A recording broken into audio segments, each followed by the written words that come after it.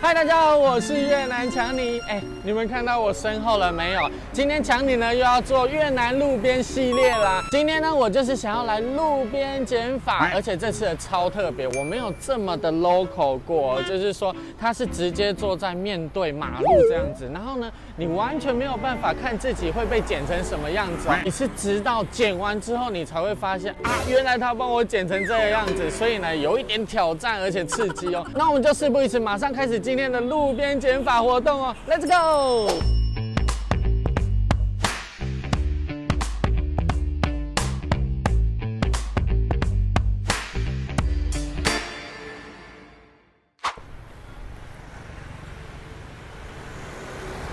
因为拍摄会打扰人家嘛，所以要先买一些冰饮贿赂一下。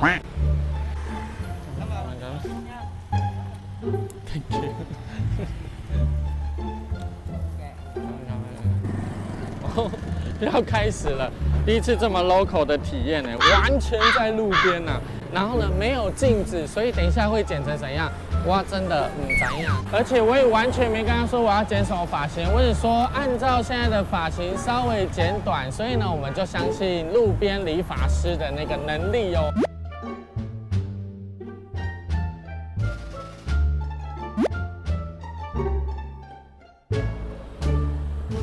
如果你放宽心情啊，不要太担心的话呢，你还可以坐在路边看看路边的景色，其实哎蛮 chill 的哦。哎，我自己让自己心情比较平缓一下，因为我完全没有说我要剪什么样子，到底最后的成果会如何呢？你们帮我边看影片，然后边提醒我惊讶一下。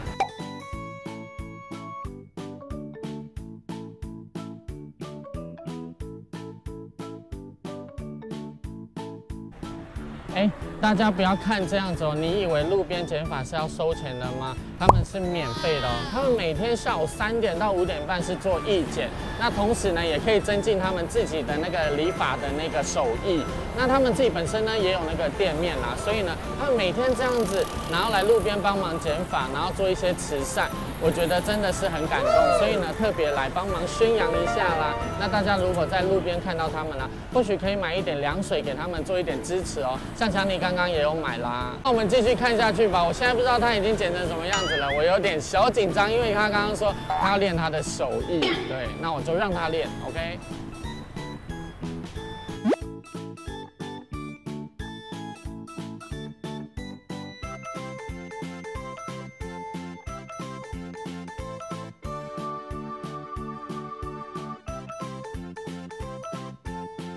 哎，那我其实很好奇哦，因为我是越南强尼啊，我就想要帮大家体验越南各种东西嘛，然后都往我自己身上试。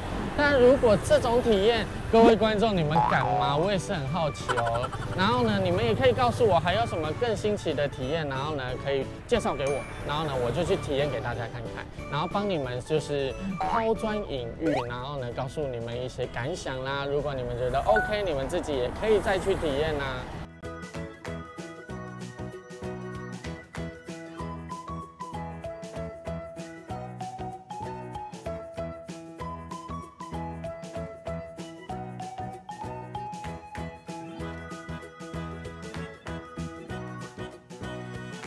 哎，现在换他们的前辈哦，那就是他好像是在教育他们的后进们，这样子好像尾巴，也就是说，大家也可以当场就是修正啊，然后呢精进他们的技术哦，马上技术指导。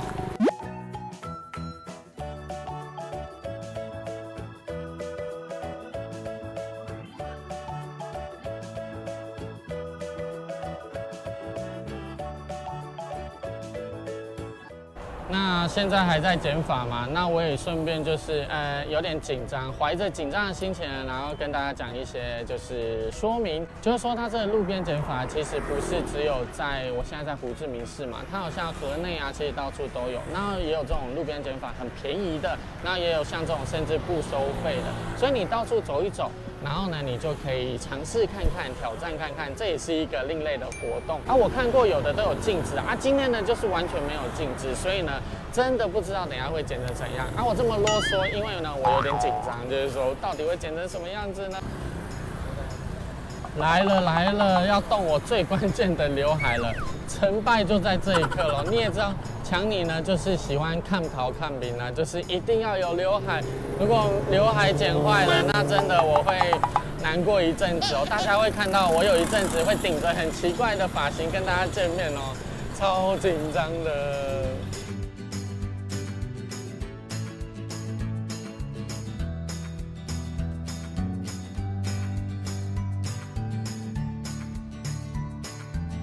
如果你们来体验呢，其实坐在路边这个，可能一开始会有点紧张嘛，想说会不会被车撞。不过呢，这种活动其实，在越南人算是一个日常行为啦，所以呢，他们看到这个也会有一点距离，也知道这边在做什么，所以自然车子也就不会撞到你，真的是比较不用担心了。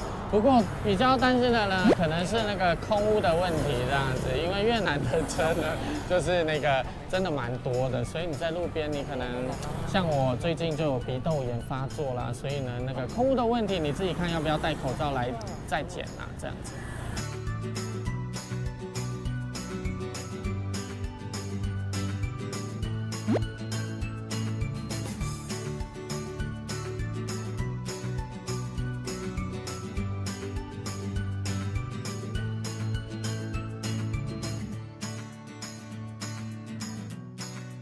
哎，这样感觉已经快要结束了。哎，其实也不过十多分钟而已，蛮快的。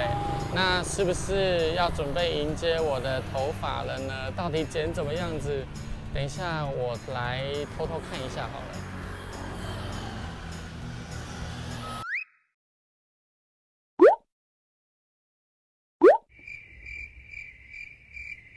它应该是剪好了，那我就用那个手机来看一下成果了，到底剪的好不好？不过呢，感觉刘海应该是还在啦，来看一下。哦，可以，可以，没有出大错，所以呢，这样子，哎，技术不错哦。那我等一下自己用发蜡抓一抓，应该是蛮好看的。所以今天的挑战算是大成功吧。那今天就是越南的路边剪法大挑战哦。哎，其实我现在呢，就是还被我的那个刘海挡住我的视线了，还没有往旁边拨啦。等下整理一下呢，应该就会回到我原本帅气的原貌。这样子剪下来呢，我觉得技术是不错。就如同刚刚强尼所说的，他们这个呢是路边义剪啊，每天的下午啊，或者是其实各个地方的时段都不一样，大家都可以去问问，或者是去支持哦。那今天的影片就到此结束。如果你喜欢的话呢，就记得按赞、订阅、分享。大家拜拜，谢谢他。